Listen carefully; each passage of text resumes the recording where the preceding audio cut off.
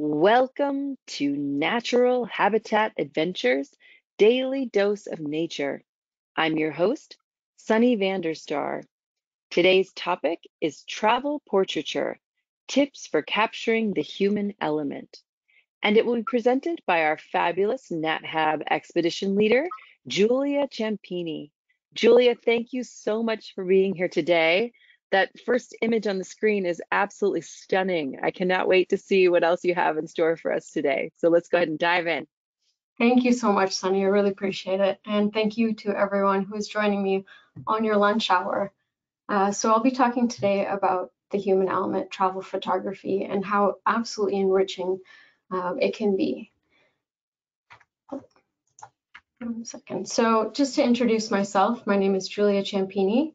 I've been a professional photographer for about 15 years, a teacher of photography for 10 years, and an expedition guide for five. Uh, with NatHab, I often guide in Churchill, whether it's polar bears, belugas, or northern lights, uh, but I have guided in about 30 different countries. And this is really amazing because it's given me a chance to photograph uh, so many people in, in their unique environments. Uh, I am an Ontario certified teacher. I have a Bachelor of uh, Science in Biological Sciences, a Master of Science in Education, and a Master's of Fine Arts in Documentary Film and Photography. And for 15 or so years, I worked as a wedding and portrait photographer. Uh, so coming to this presentation or going and traveling, photographing people is something I, I'm often drawn to. I really enjoy that part of the experience, uh, even though wildlife and the biological side is also very important to me when I work as a as a, a, portrait photographer, I'm often looking for very authentic and real moments, moments where people maybe have their guard down and they're showing and expressing uh, who they are. It's great to get posed pictures and those serve their own purpose, but I think as you dive deeper into portraiture, when you can connect to someone when their guard is down, your images are going to be so much more powerful and so much stronger as a result. So I'm always, always looking for those unguarded moments. And I'm also doing whatever I can do to help those moments occur. So I also do a lot of family portraiture, boudoir photography, kind of anything to do with people, I, I really, really enjoy. And you'll see from these images, um, one thing that I, I always try to stress is that no one image should look the same as another. If you're telling the story of a family or if you're telling the story of a place, aiming for that visual variety is something you should strive for. That will make a, a whole story come together when you look at all the images, but it will make um, your images more interesting just right off the bat. So um, travel and portraiture really go hand in hand. And I know NatHab is an incredible company uh, that brings you close to wildlife experiences and that brings you close to uh, nature experiences, but it also brings you close to that human experience. Um, and in my work in Churchill, you'll have these incredible moments eye to eye with uh, apex predators, the, the polar bears, or Arctic fox or red fox. You have these really incredible moments with wildlife around you, but there's also so many interesting people you could shoot while you're on expedition, while you're doing this. So looking around you and seeing, uh, say, the polar bear guides, or when you're doing your dog sledding adventure, um, kind of hearing about the history and the unique culture of that place and photographing the people that live in Churchill and work and live off the land, it, it adds so much more to your photographs. Um, as a guide, I'm always looking for interesting moments where the guests are, are coming to life, where they've had a great experience, where they're really engaged with what they're doing. So whether it's to a couple connecting because they've just had a great experience, or a photographer, you know, deep in that moment where they're capturing something, or a guest seeing their very, very first polar bear and that big bright smile. I'm always searching for those moments. So it's not only about the, the wildlife and the natural experiences that you can have, it's really looking around you and seeing what kind of human experiences you can capture. And on any of the expeditions that you go on, you meet really interesting people. You meet interesting drivers, you meet interesting guides, you meet uh, interesting guests. Uh, locals from the community. There are so many people that you can connect to and I would very much encourage you to connect to everyone around you because you'll learn so much more about the location by doing so. And you'll also feel much more connected to place as a result. So um, we're going to dive in today. We're going to talk a bit about portraiture. Um, at first, I want to talk about maybe the less about the technique and more about the ideas of portraiture, and then we'll talk a little bit more about technique and technical sides. Uh, please feel free to ask me any questions. I really love this topic, uh, and there is no no question I, I'm not excited to hear. So one of the first things uh, when you're traveling and doing photography, uh, especially with portraiture, is uh, starting to recognize universals. No matter where you go, no matter what experience you're about to have, there are human universal things that happen to every single human, no matter where you are. Um, and these commonalities might might be how people create food, what food they're eating, how they practice faith, their connections, their relationships with others, how they show care and love, uh, where they live, transportation, how they get around, work, how they experience pleasure, art, music, dance, and visuals, and you know the different stages of our life. We all go through these different they all go through these similar things and how they play out in different places is beautiful fodder for for photography.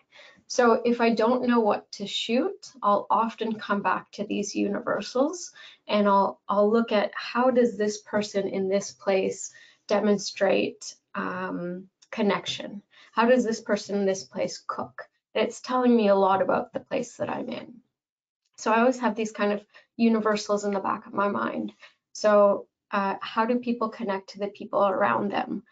Uh, interesting little side note, when I photograph couples, if I ask two people to hold hands, every single couple will do so differently.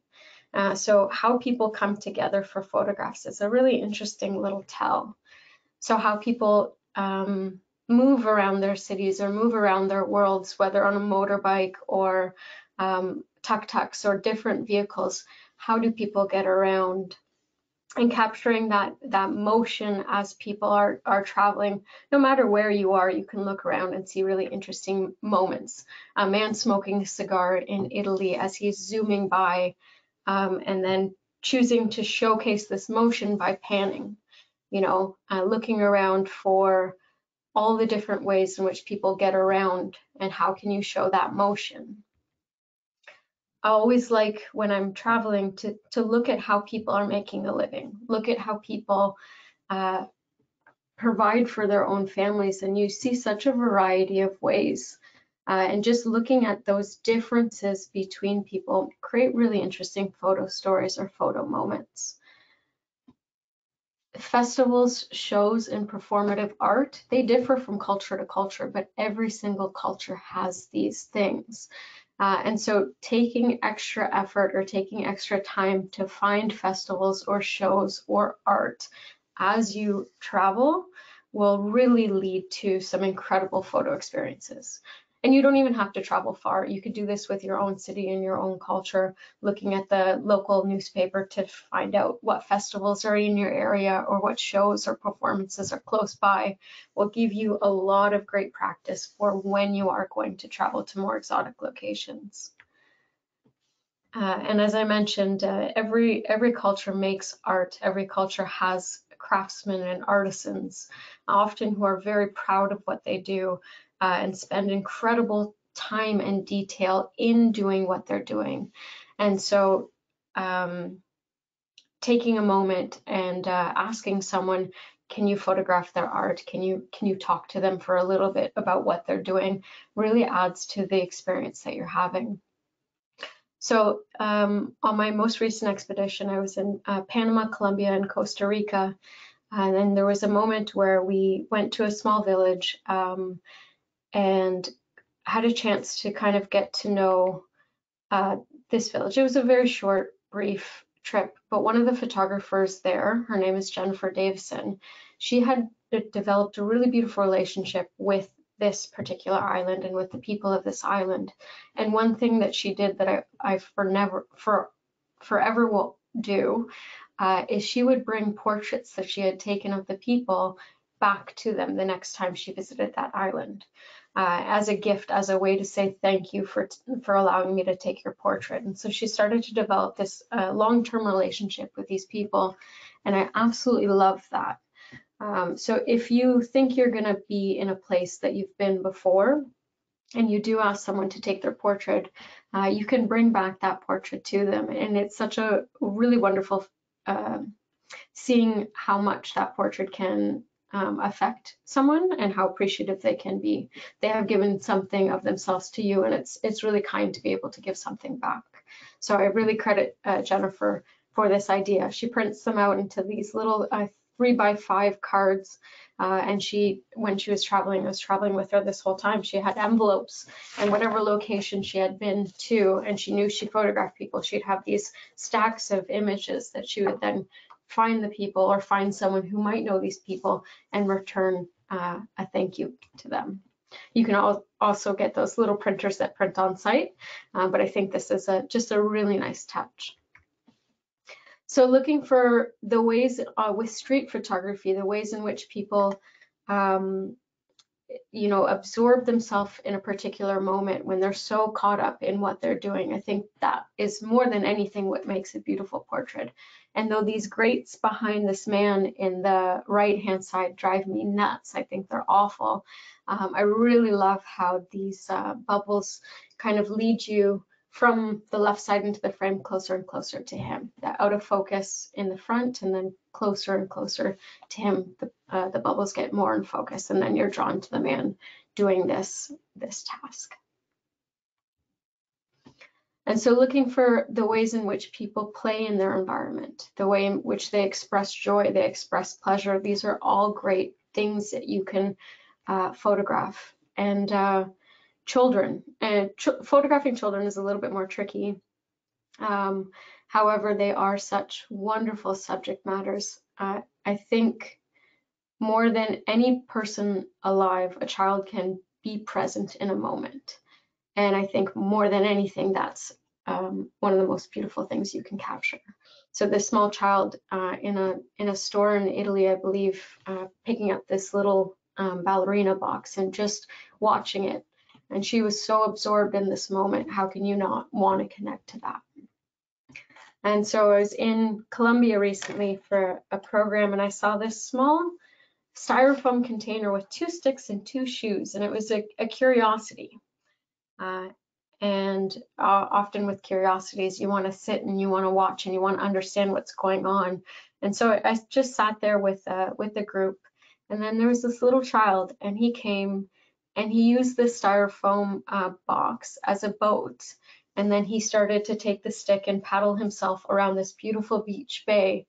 Um, and it's just that magic of childhood. You know, you sit and you watch, and now you're you're so much more connected to a place because you've spent that time.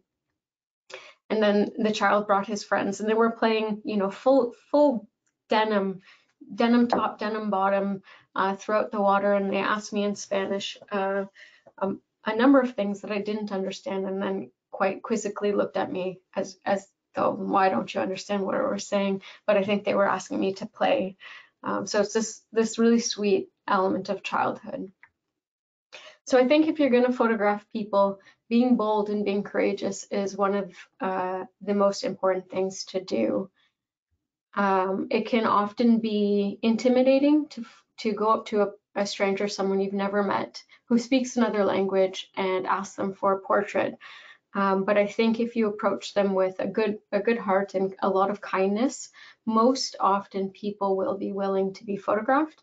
And if they're not, they're not your subject, and that's okay. Uh, so being willing to ask someone for the portrait um, and taking that two seconds of bravery, uh, engaging in conversations. Uh, you know, this was a very, very short passing moment in Malta, and I loved just how these two were interacting.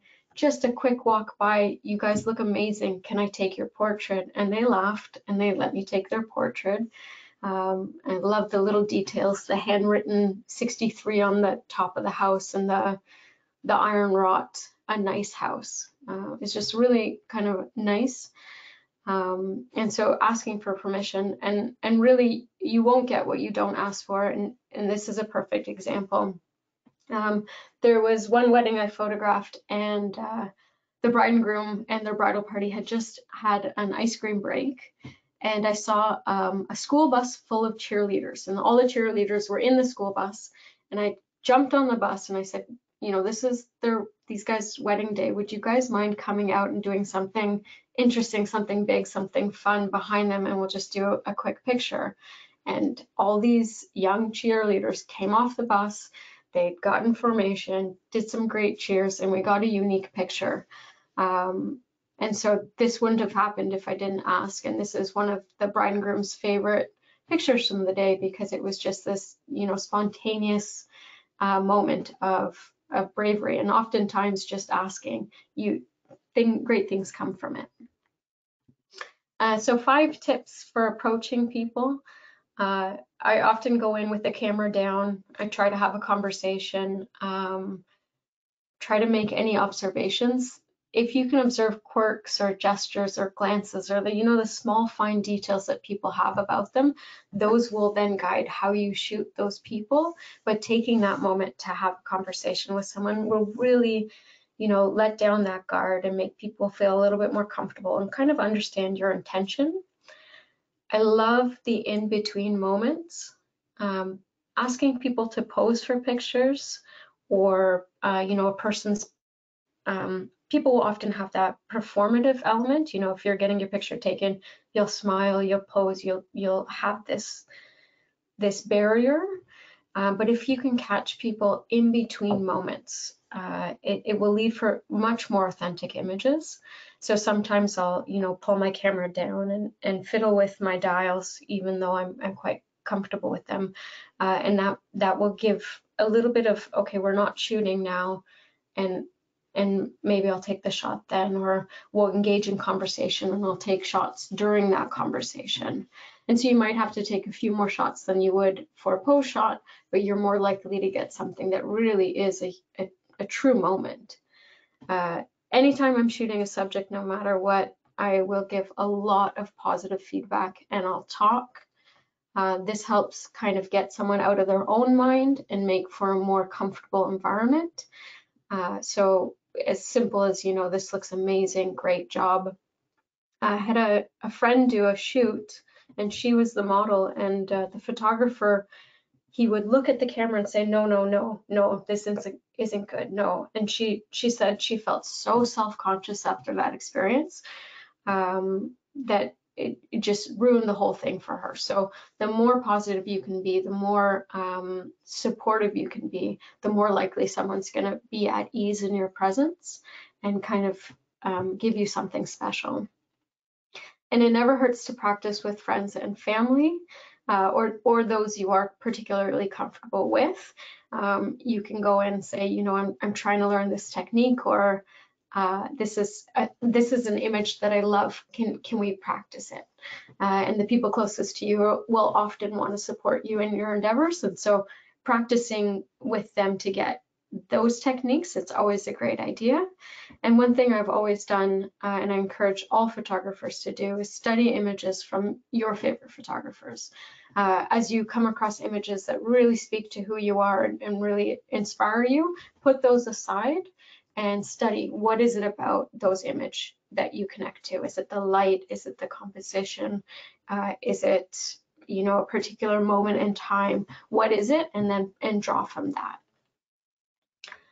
Uh, so I'll talk very briefly about uh, getting down to the essence of a portrait and why that might be a useful thing. So a quick scene in uh, Japan, uh, there are about maybe 70, 100 people around me uh, in this, um, this small um, area where people are are engaging in a, a, small ceremonial practice. And to me, this picture is behind the scenes. It's quite messy. It's it's chaotic, but you have to, as you're shooting, really hone into the essence of the picture. And to me, obviously, it's this woman with her daughter, uh, dressed in these beautiful uh, clothing, but the woman is teaching her daughter how to how to do this. And so you're honing in on these two, and this this project uh, this picture is getting closer to the essence of the message. But I think it's really about passing on uh, traditions and passing on uh, this connection. So as these two come closer together, we're getting a little bit closer to the essence of the shot, and coming back out. I think um, seeing the girl do it on her own is lovely, but as I as I mentioned before, it's this picture, the essence of it is these two together, mother and daughter, um, passing down this trad tradition. And so you're kind of going through all these different versions of this picture until you get to the heart of what the picture should be. And you likely won't get to, you know, your end shot or your great shot at, unless you go through all the different renditions. Um, so uh, sometimes people think, oh, I failed this image, I failed this image, I failed this image.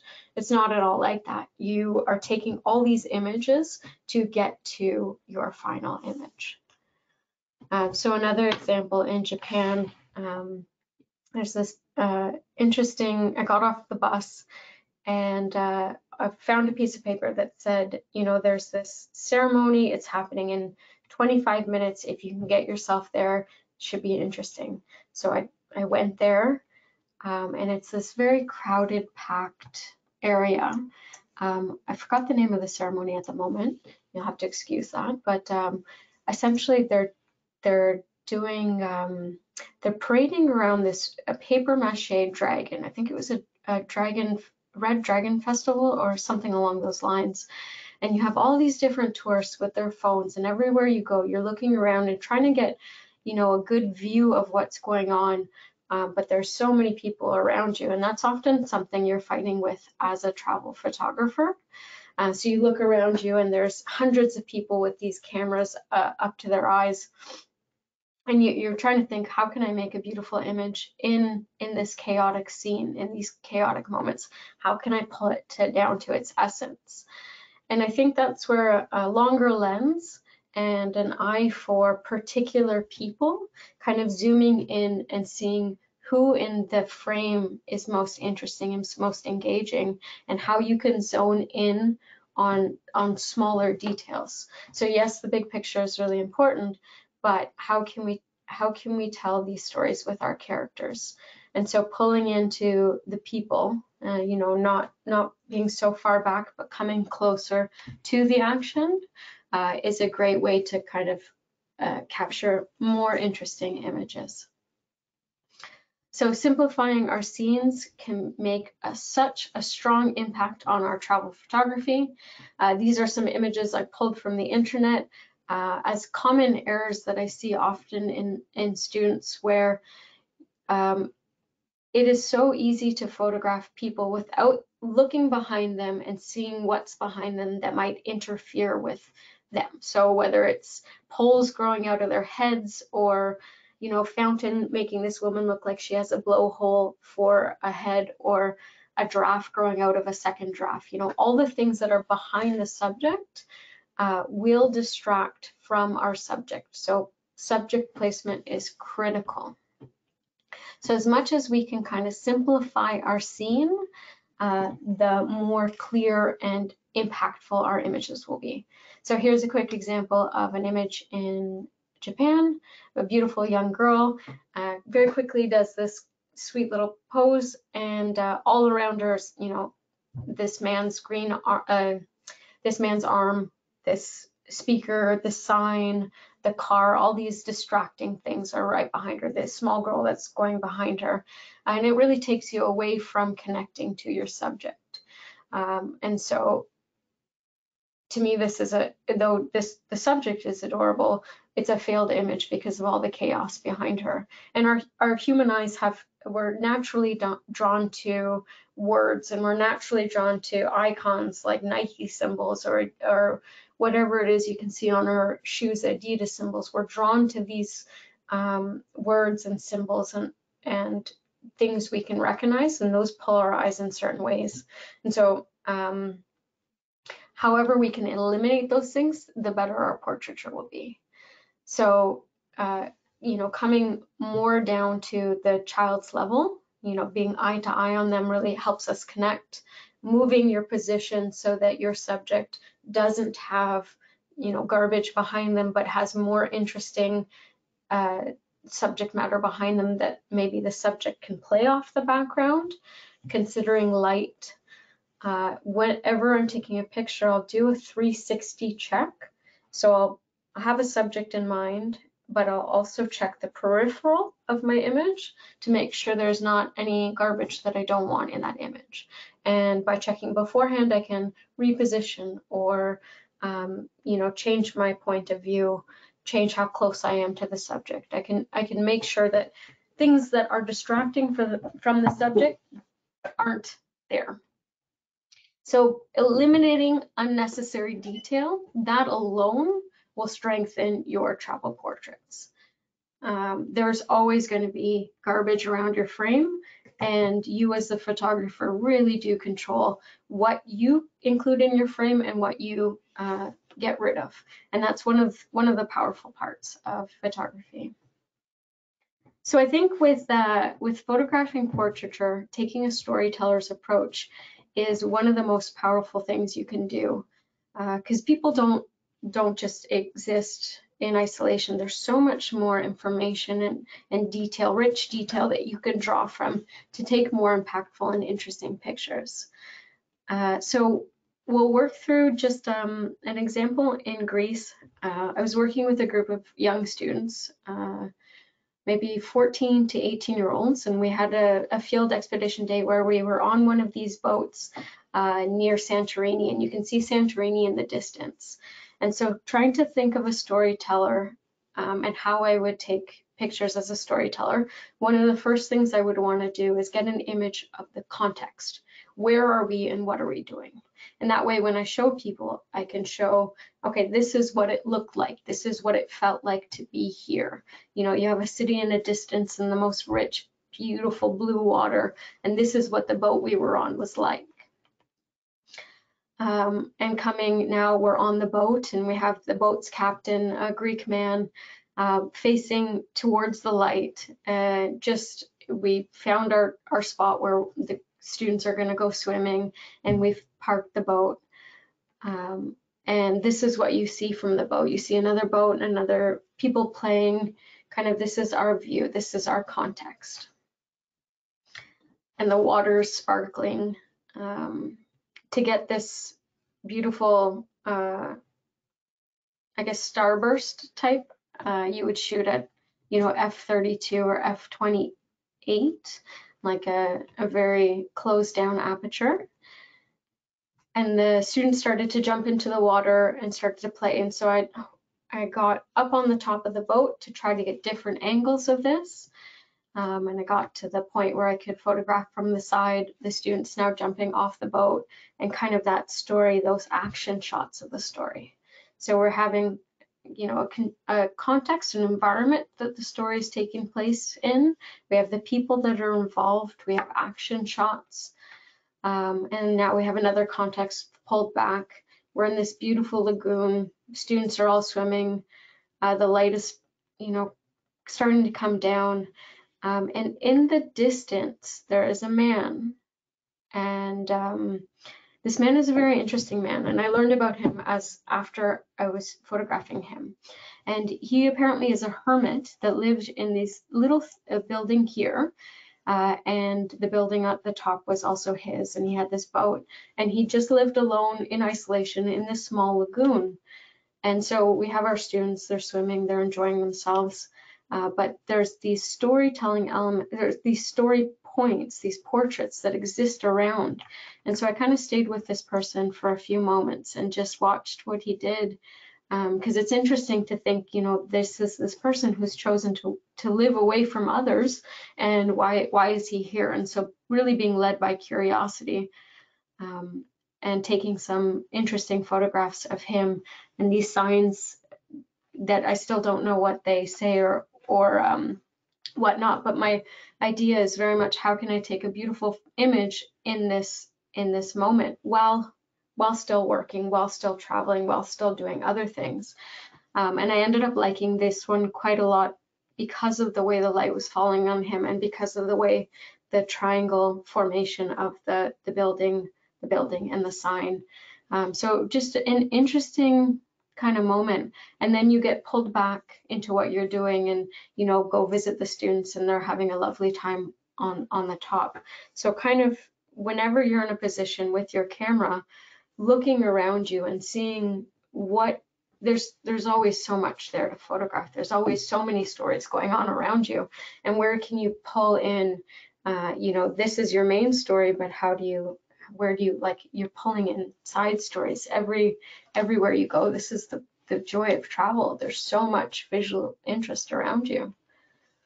So um, we talked a little bit about storytelling and we'll we'll dive in a little bit more now um, to how to tell a story instead of just taking a photograph of someone, how do we take a photograph about someone?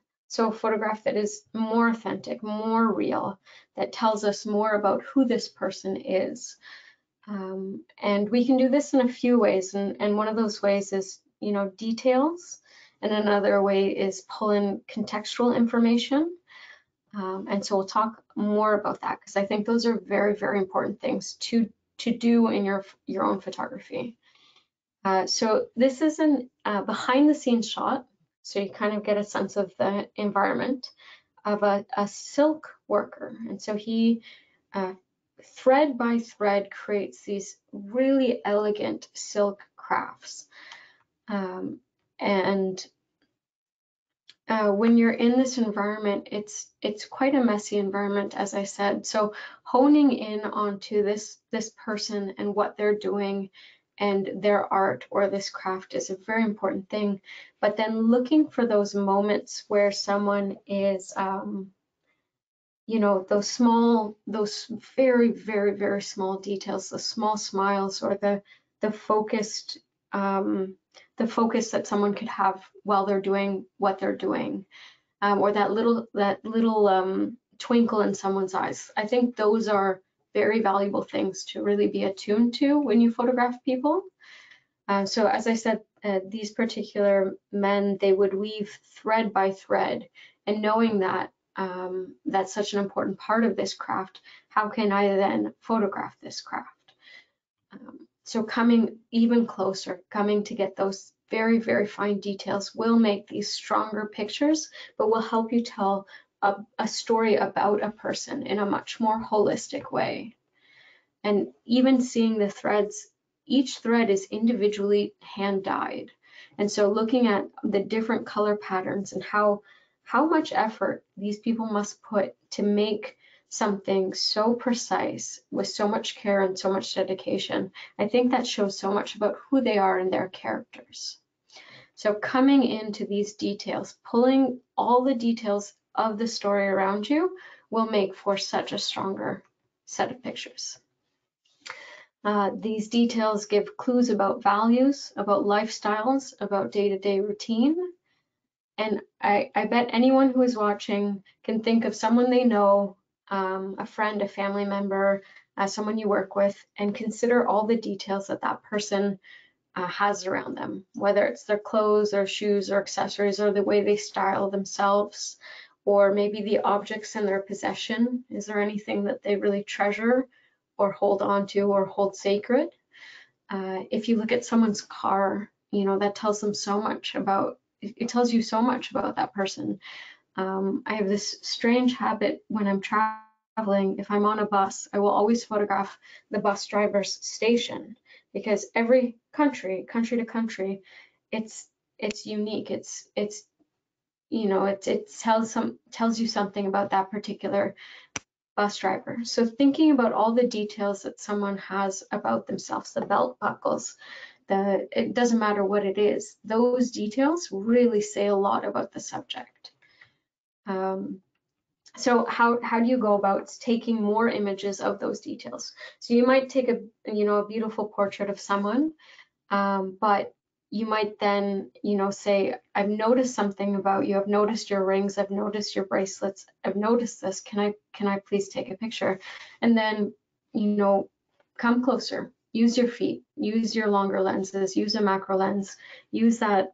Um, if you're using your cell phone, there's your uh, your tulip mode, your macro mode, essentially, in your cell phone, uh, to get those detailed shots and let those details fill the frame.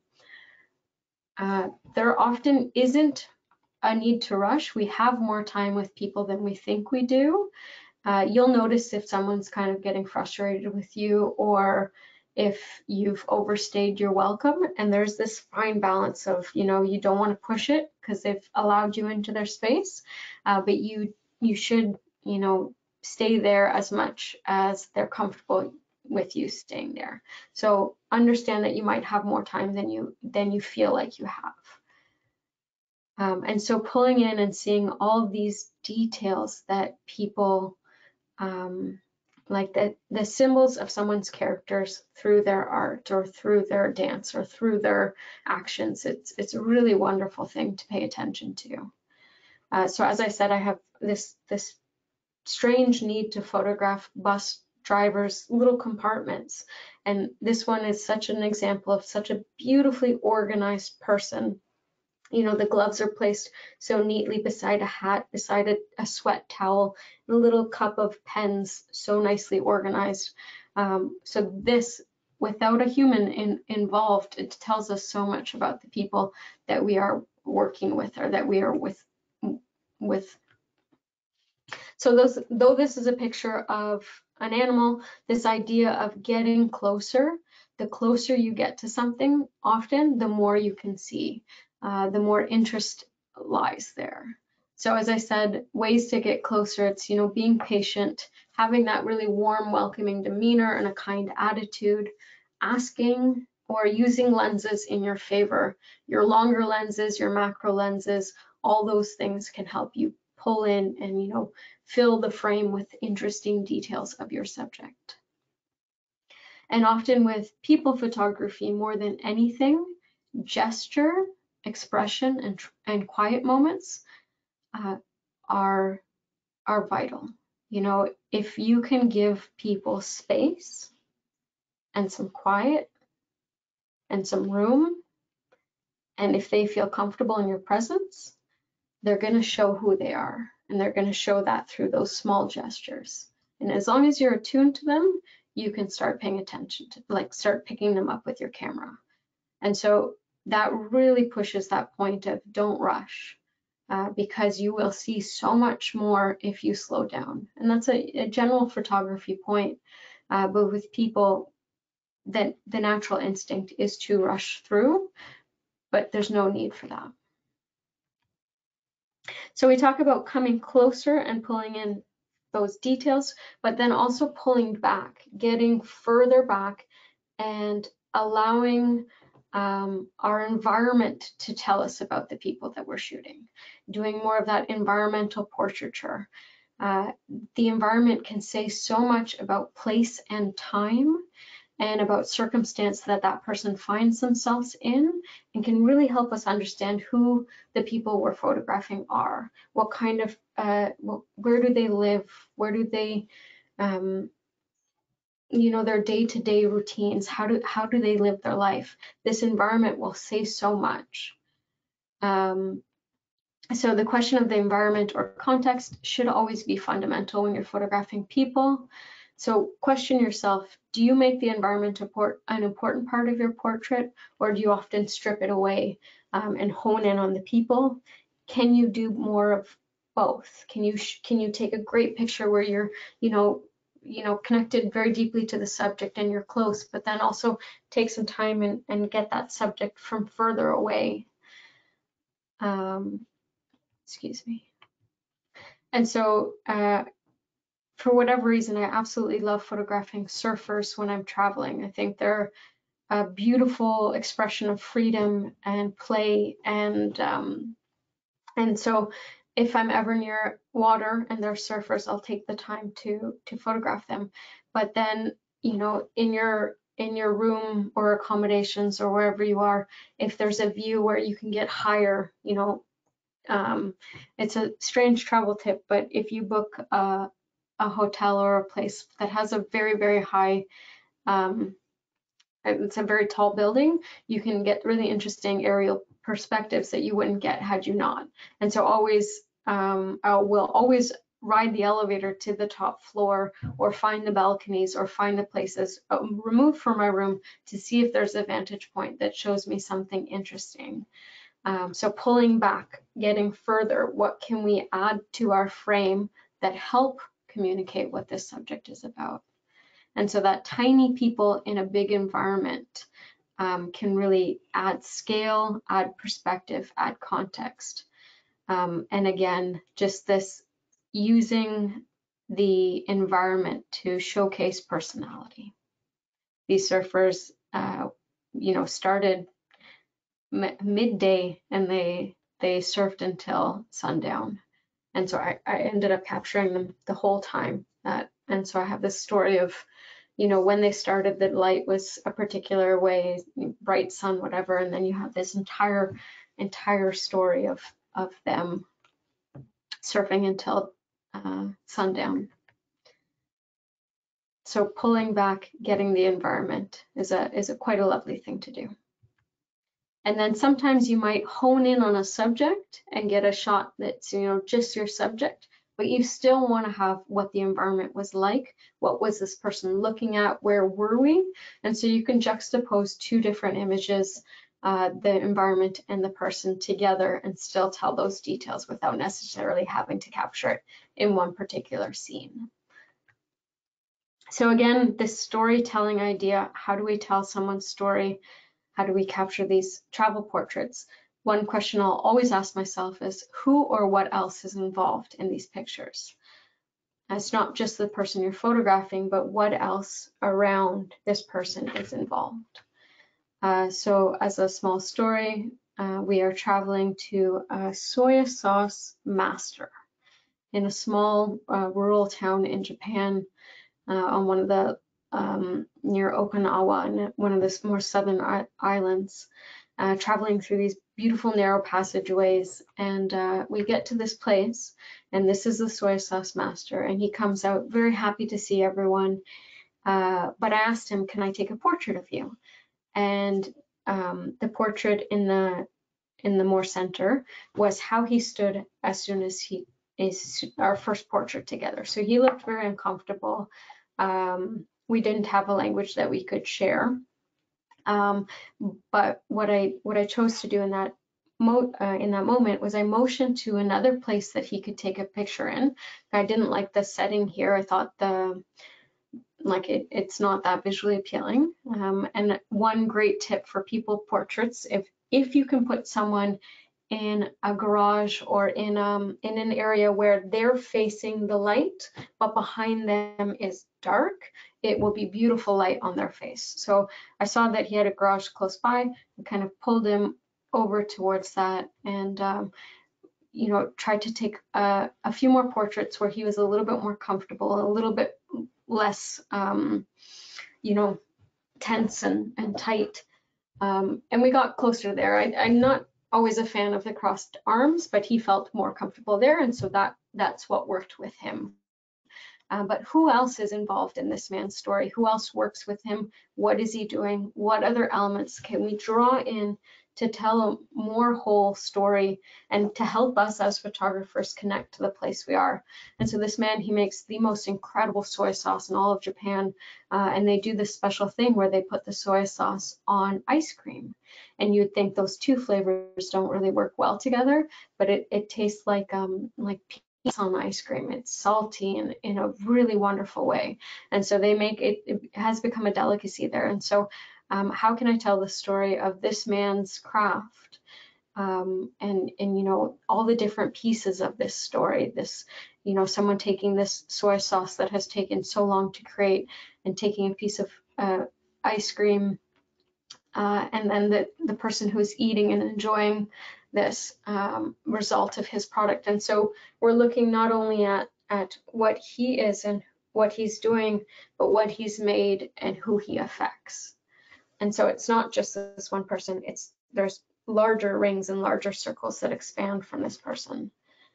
And then thinking always, what or who do these people care about? If you can get into that, uh, you're going to get a more more true images.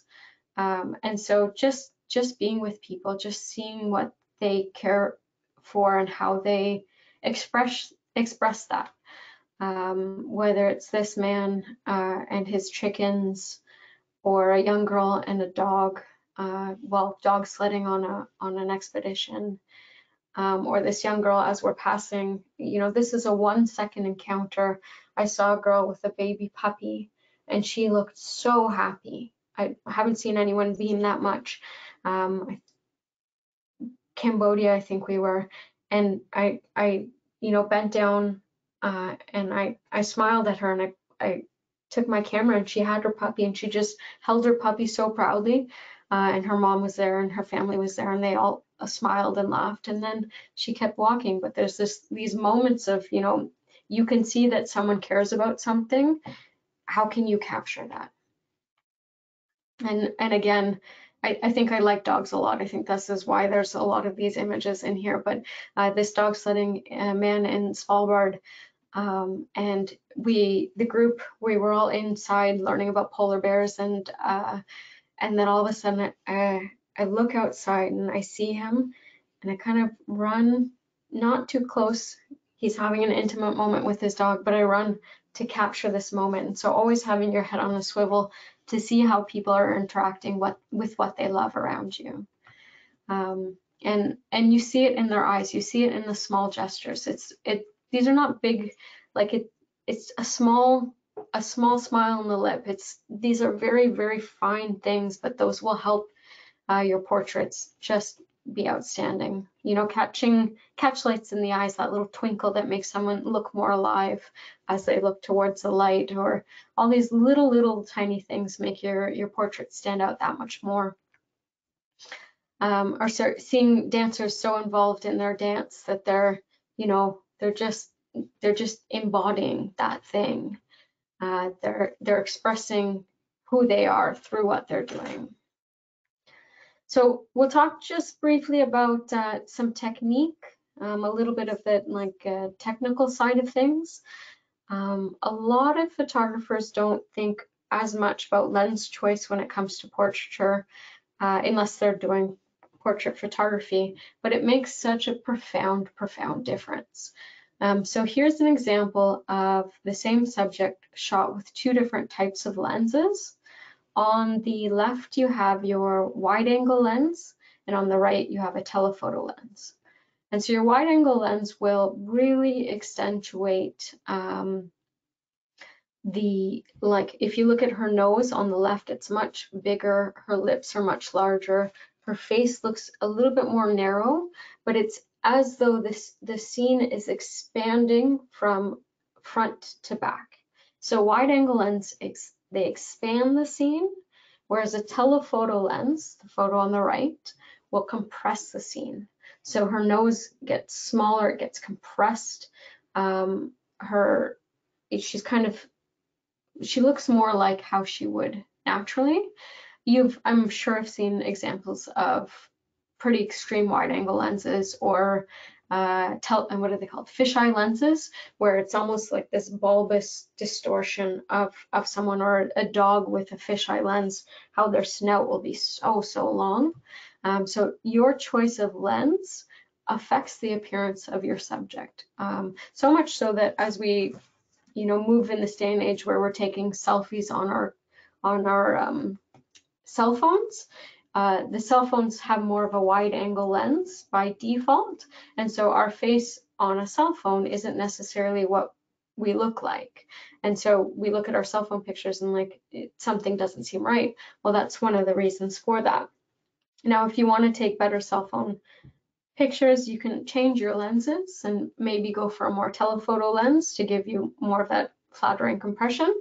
Um, but here's here's this same thing but more extreme. So on the uh, leftmost uh, top corner, you have your very, very telephoto lens and your rightmost bottom corner, you have your most wide angle lens in this circumstance.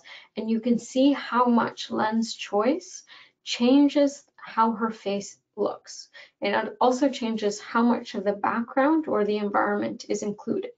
So in the very telephoto lens, we're really narrowing it in. We don't have much of the background or the environment. We're kind of honing in on our subject. There's that compression I was talking about before. And on our very, very wide lens, your 19 millimeters uh, here, you have much more of the background included, but you see this distortion. You see this distortion on her uh, forehead, on her nose, on her mouth, on the shape of her face. This is not how her face looks. And so choosing a lens uh, with this distortion in mind can be an important consideration. Um, if you are using your cell phone, there is a portrait mode on all cell phones, uh, most cell phones nowadays. And your portrait mode, the idea behind this is that uh, your camera um, will uh, make the background blurry to emphasize your subject more. You'll get this nice bokeh, these little soft uh, out of focus pieces of light um, behind your subject and it will it will be a more pleasing, flattering portrait. So something to try if you've not tried. I've, I've taken this image from the internet here, um, but it is a, a nice demonstration. The phones are now starting to, you know, take this in mind. How do we take more pleasing portraits? So portrait mode on your phone, but some technical considerations, uh, some great um, focal lengths for portrait photography. You're 50 if you want to include more of the details, more of the environment. 85 is beautiful. A 70 to 200 lens, one of my absolute favorites. Also really great for sports um, and action shots. So those would be my top three favorite portrait lenses. Uh, typically when you're shooting people, you might aim for shallow depth of field, so a more wide open aperture. This will blur the background, as I said before, bringing more of your attention on your subject. Uh, but if you are shooting groups of people, you want to increase your aperture to f5.6 to f11, depending on how many people. Uh, and that will ensure that every single person is in focus if that is your intent. Um, and then also it's quite important if you're photographing a person that their eye is in sharp focus. So taking a moment to ensure their uh, your autofocus point is on an eye is a really great thing to do. Some new cameras have uh, eye tracking for wildlife, um, and so that's a really nice feature in some newer cameras. Uh, and it was also, sorry, I was trying to remember this funny thing that I had learned many, many years ago. Uh, there was a portrait photographer teacher I had, and he had said that every single person has eyes of two different sizes. And so if you're taking a portrait of someone, you should um, you should make their smaller eye closer to the camera so it appears bigger and then their larger eye further away from the camera so it appears smaller so they look more symmetrical. And that was always a funny thing, um, but I have remembered it since. But eyes are such a point of uh, connection with any portrait uh, and playing with the way in which people look at the camera or look away um, can be an interesting way to change what you're communicating. And so our final topic of today, uh, one of the most important, is light. And many, many photographers will say, you know, there is um, a, a, time where you should be shooting portraits and a time where you shouldn't. Uh, and it's of my opinion that every single light will offer you something unique and there is no bad light. There's just better light for better uh, certain things. Uh, so i would definitely say shoot at all times. I definitely have my favorite light to shoot portraits at. I love that golden hour light um, when the sun is low in the sky and it's got a, a warm glow to it. I think it's it's really magnificent um, but I, I will often also shoot, you know, noon, uh, 12 noon when the sun the sun is right above you and harsh and challenging to work with. All of the different lights that exist in the in the world can lead to interesting images. So I'll give you just this one example and I'll talk about directionality of light and how you can use that to shape your portraits uh, for more impact. But here's a behind the scenes example you know, crossing the street, uh, again in Japan. Japan was a very recent trip for me, so that's why these images are so prolific at this point. Um, and I see a, it, you can see it's a chaotic street, busy, busy, interesting light. Um, but this man in a motorbike, I see that the light is reflecting on his motorbike in an interesting way. And he stopped at the light and just about to make a right turn. And I know I, I don't have much time, but if he positions himself in a particular spot as he's driving by, the light is going to reflect on his face in an interesting way. And so I'm anticipating this happening. I think potentially there's a shot there just because of the way the light is interacting with his him. And so it's it's these are like small, small fractions of a second, but as you can see light in a in a more like see light for its potential, you can then start to see where subjects you know come into the light or you start to anticipate your shots in a, a little bit more um, a little bit more ahead.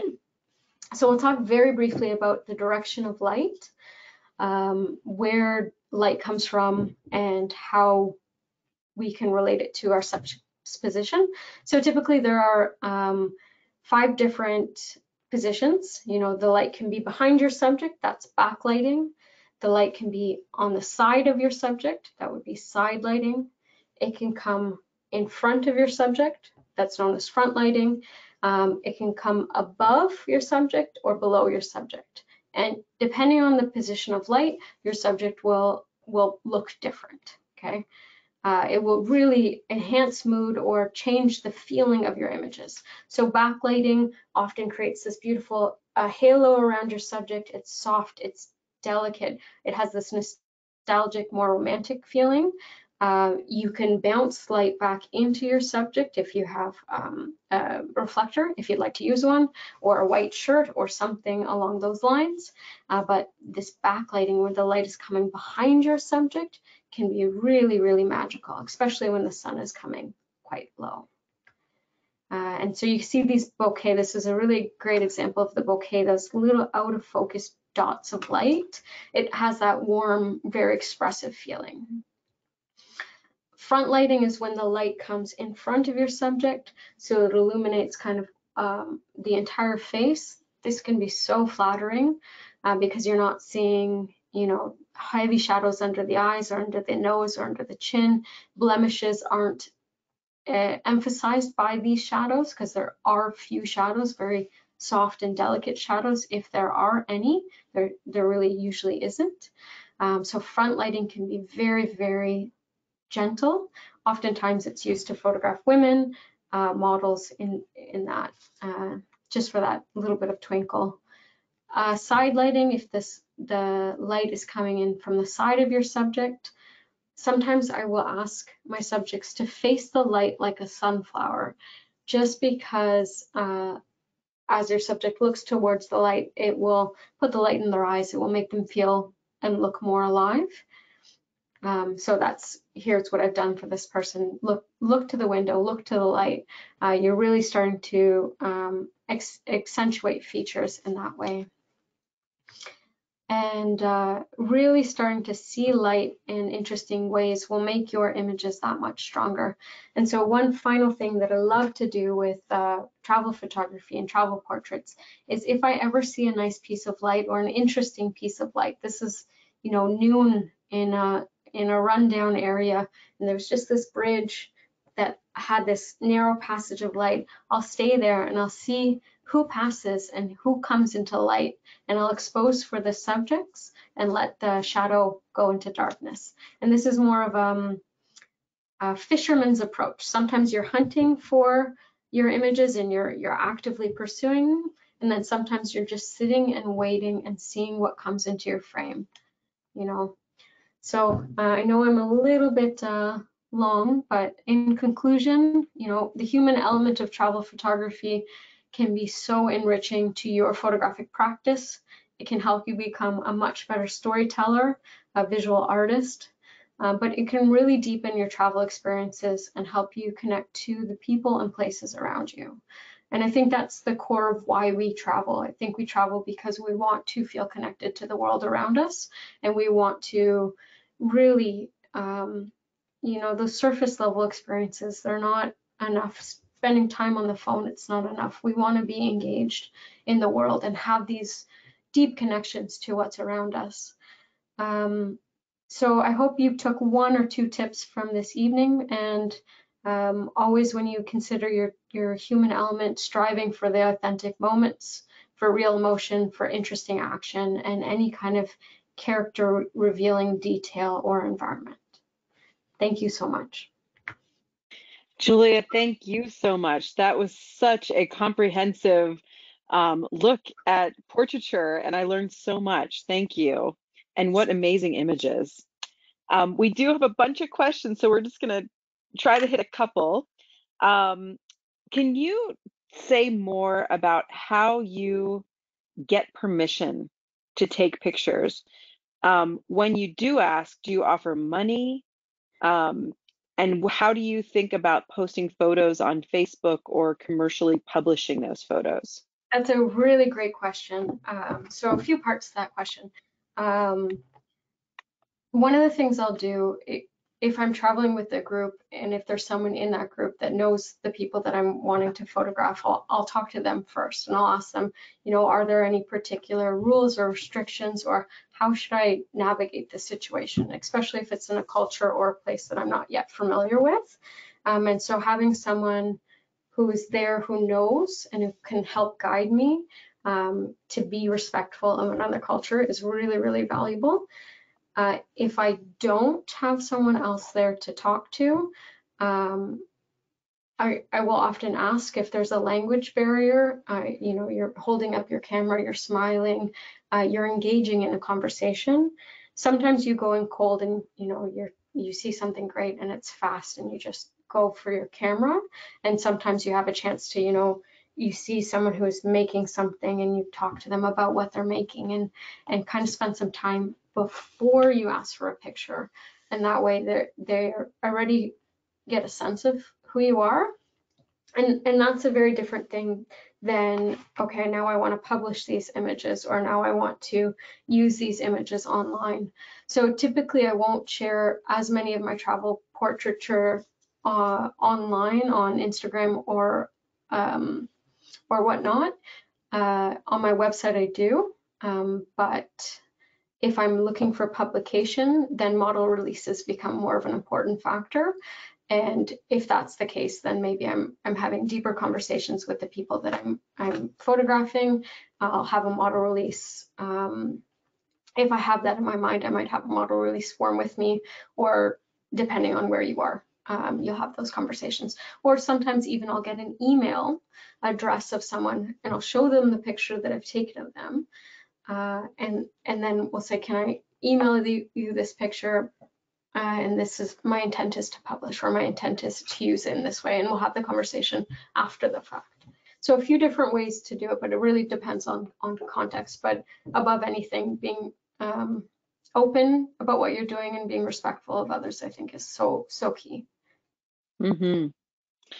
Um, how do you feel about editing photos. Uh, for example, the grates in the background that are problem, you know, problematic for you. Would you ever try to edit those out, or do you feel like, ah, let's just keep it in? That was real. Yeah, uh, a half and half. Um, if I have time, I will edit it out. If it drives me crazy, those do, and I probably will. Um, but if it, it if it is kind of integral to the scene, and if it, I think I think this boils down to intent. If I want maybe a more pristine image um, and I'm not caring about, you know, truth as much, it, it can be edited out and I don't mind doing that. But if it's more of like a, a journalistic documentary kind of thing, maybe I would change how I'm shooting it to get rid of that. Um, mm-hmm. yeah. All right, let's finish with, and you did touch on this, but could you just remind us or expand upon your favorite equipment? Oh, yes. Whether you have special lenses you love, special, like do you use a monopod, any equipment that you feel is just essential? Oh, that's great. Um, so I do shoot right now with an R5, uh, Canon R5 mirrorless camera. I think it's a gem. Uh, my favorite lens, probably of all times, uh, is a 70 to 200. And I like that lens um, for portraiture, and just general travel. I think it's it's lovely. It brings your subject closer to you. Um, it's just it's stunning. I know a lot of photographers who who will they don't love telephotos as much as I do. They love their wide angles, but I there's something so special about the 70 to 200. Um, but for portraiture, maybe my favorite is an 85 f1.2. Um, and any other special equipment. Mm. So I don't typically shoot with tripod or monopod. I like to move quickly um, and I feel encumbered by them. And uh, sometimes on occasion, I might travel with a, a small light, not a, like on occasion, I'll, I'll use a, a, speed light flash, but there's also a, a light um, and it's just a small little light where you can dial in um, the color temperature and the um, I'm forgetting the name of it, but the intensity of the light and the color temperature. And if your subject's in a dark and gloomy environment, just having that continuous light source might help you out, uh, especially for indoors. Uh, with that said, I, I kind of hate being indoors. So I, as much as I can, I, I like to be outdoors. Well, thank you so much. That's the last uh, question we have time for today. So I'll turn it back to you for closing comments. I just wanted to thank everyone who came out. Hopefully uh, you've learned one or two things that you can use in your own photographic practice. Um, but I really uh, encourage you to continue to look to the people in, in our travel photography because I think it's uh, just one of the best parts of it all. Thank you so much. And thank you, Sunny. Thank you, everyone. Hope you have a great rest of your, your day and your week. Well, I, I just love that advice and want to echo what you said about the importance of of making those human connections. It just gives the travel experience so much more meaning. So thank you for highlighting that. I want to thank everybody who tuned in today. Please join us again tomorrow for our next daily dose of nature. You can check out this week's lineup, including registration links, on our website at nathab.com forward slash webinars. We did record today's presentation and we will have the replay available on our website soon. With that, we'll conclude the webinar. Have a wonderful day, everyone.